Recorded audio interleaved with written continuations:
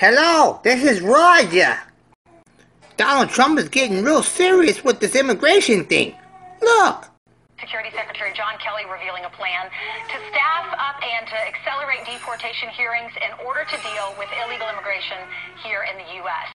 This is crazy. He's calling on 10,000 agents to help out with this mess. They could do other things with that money. At the Customs and Border Patrol Agency.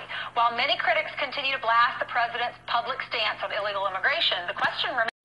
Yeah, they're gonna blast them out of this atmosphere for stuff like this. You gotta do better. Come on, I like you, but you gotta do better, man. What's going on over there?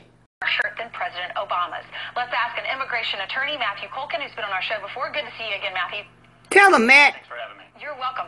So when you look at the facts, you know, the, the mainstream media is going to portray President Trump as this evil deporter. Is that true when you compare him to President Obama? Well, President Obama's uh, deportation priorities that were established back in November of 2014 closely mirror those uh, that we've seen in the leak memorandum that came out over the weekend. Uh, I don't know about that. What? What do you mean? Deportation.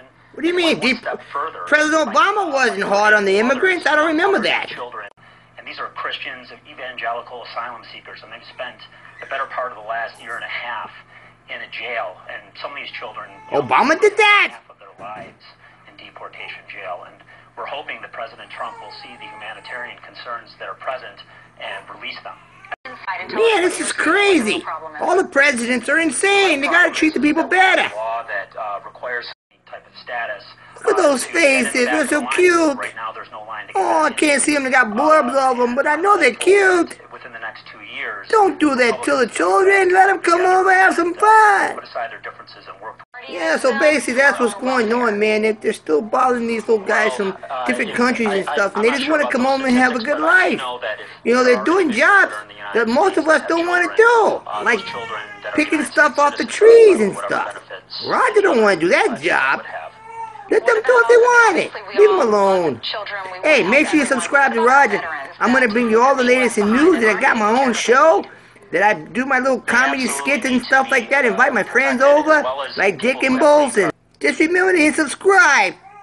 Hello, this is Roger. Hey, this is Roger. Hello, this is Roger. Hello, it is me. Don't get no better than a Roger.